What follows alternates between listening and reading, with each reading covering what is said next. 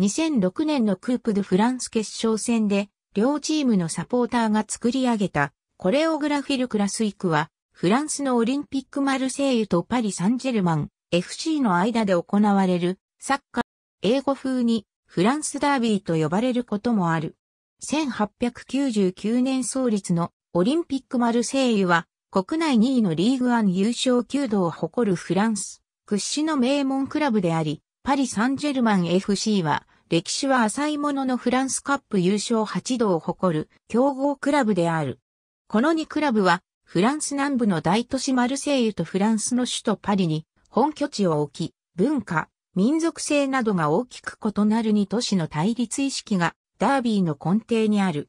試合におけるライバル意識の他に、互いのクラブへの嫌悪感情はピッチの外まで広がっている。1980年代後半、マルセイユのベルナール・タピ会長がパリ・サンジェルマンとの対戦をスペインのエルクラシコに倣ってル・クラスイクと名付け、メディアに大きく取り上げられるようになった。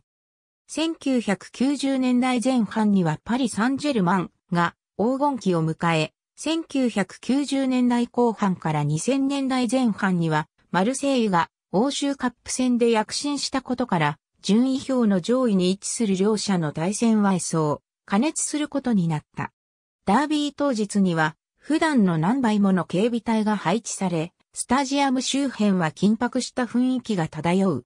ダービー時の暴動などで逮捕者が出ることは珍しくなく、これまでに優に100人を超える数の両軍サポーターが逮捕されている。サポーターや警官が負傷する事件もたびたび起こり、2010年には死者が出ている。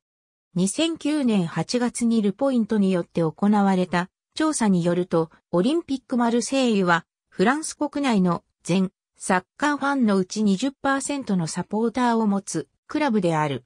パリ・サンジェルマン FC とオリンピックリヨンが11%で、マルセイユに続き、FC ジロンダン・ボルドーの10%が続いている。マルセイユは世界で最も人気のあるフランスのクラブであり、パリ・サンジェルマン FC とリオンが続いている。2010年4月の調べによると、財政面の豊かさで、マルセイ、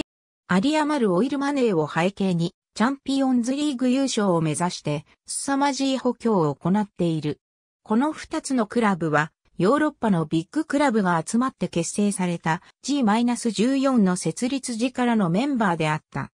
2008から09シーズンの平均観客数を見ると、マルセイユが52,276人で、リーグワン最高の数値を記録し、パリ・サンジェルマン、FC が4902人で、マルセイユに続いている。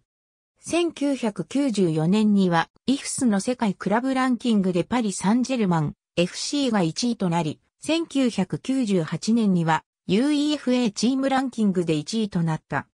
パリ・サンジェルマン FC はこれらのランキングで1位となったフランス唯一のクラブであるが、1991年にはマルセイユが UEFA チームランキングで3位となっている。1993年から1997年までパリ・サンジェルマン FC は世界クラブランキングでトップ10入りしている。全公式試合。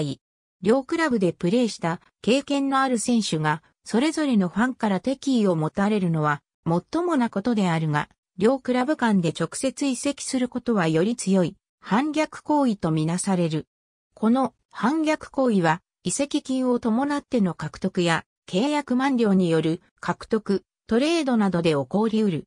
トレードの例としては、1990年にフランス機体の若手だったジョセリン・アングマがベルナール・パルド、ブルーノ・ジャーメイン、ローラン・フルニエとの交換でパリ・サンジェルマン、FC からマルセイユに移籍したことが挙げられる。